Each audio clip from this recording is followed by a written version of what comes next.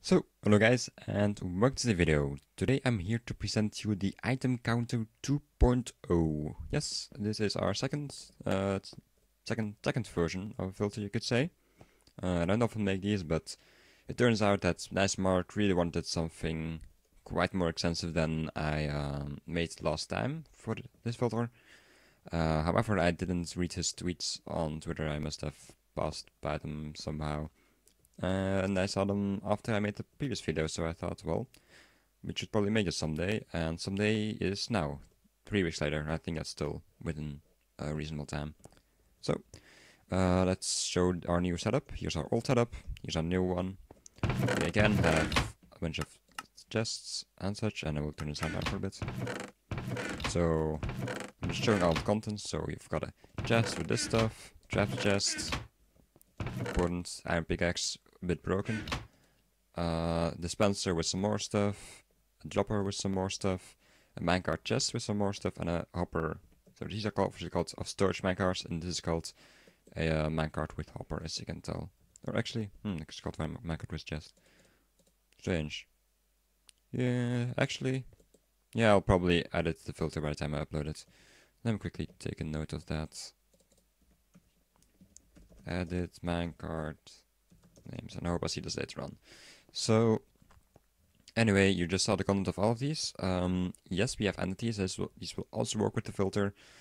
Uh, and as you saw, there are tons of different items, and there's a very good reason for that, because this filter can actually, it will not just count the total amount of items like the last one did, that was kind of a basic function.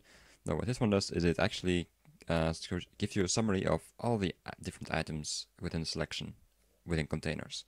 So anyway, uh, without further ado, let's head, let's head into MC Edit. So here we are in MC Edit. Um, let's first just select everything.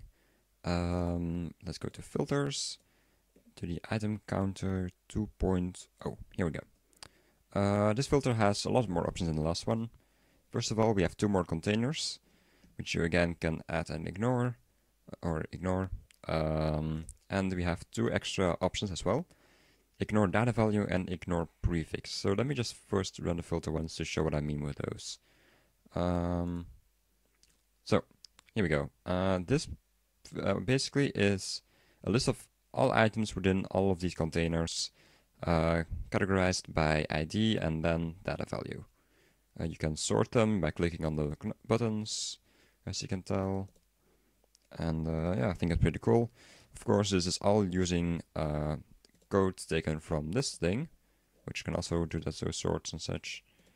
Uh, so yeah, I did not write a decent. I only half the filter something was written by me. The other half was actually uh, code taken almost directly from uh, the analyze part of MC Edit. So I have to thank Codewarrior for that, who is, will be linked down in the description. He is the main MC Edit developer, and I'm pretty sure he wrote that part, considering that I don't think this version of MC Edit is written by anyone else but him actually. Oh, no, I think there are no, there are actually some parts of, the, of MC Edit written by other people, as far as I know, but I'm pretty confident he wrote this. So thanks to him for that. So we have these neat looking tables, and just like the, the analyze function, you can even save to file. Yes. Um, it's a bit annoying to navigate because this button only allows you to go one folder up if you want to go into folders, you just have to uh, do something like this. Basically, if you have a folder here called folder name, and you want to save it in there, then you would go for something like that and save. Um, yeah, so that's how that would work, but I'm not going to do that right now. I tested it off camera though, and it works. Uh, so now let's get into some of the options. Uh, first of all, ignore prefix, very simple option. Basically, prefix the prefix is just the Minecraft colon part if you have the uh, checkbox uh, checked, it will just remove that because it's not very useful. Um, as far as I know, it's meant for um, the mod API, so later on you would have mods like, I know, industrial craft dash uh, uh, um, cologne slime or something. But for now, it's not really used, so I definitely thought it would be useful to be able to ignore that because it's all the same. Um, then something else you can do is ignore data values and then it will just display all in here and there's nothing to sort by of course and we'll just count everything together so previously now we have 55 wool in total And if we do this, you can tell we have 26 of one wool plus 18, that's uh, 44, I think. Then plus this is 53, plus this is 57, 55 actually. Was that right? I don't know. I have a very bad memory. Yep, it was 55. Okay, so I didn't miscount, and the filter also didn't miscount. So yeah, that shows how that works. Uh, as for the containers, I did some tests with the uh, I did some tests with these rather, and uh, yeah, the results do differ. I also did uh, count some of the results up. It seemed to work out quite well. Uh, so let's remove this one. Now we have less slimes, as you can see.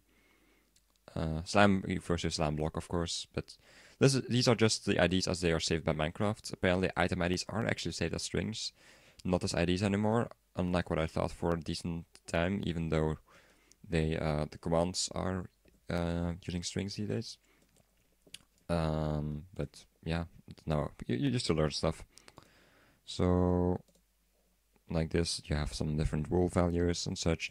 And I'm not gonna, I'm just gonna just show some random stuff. I'm not going to prove it's alright.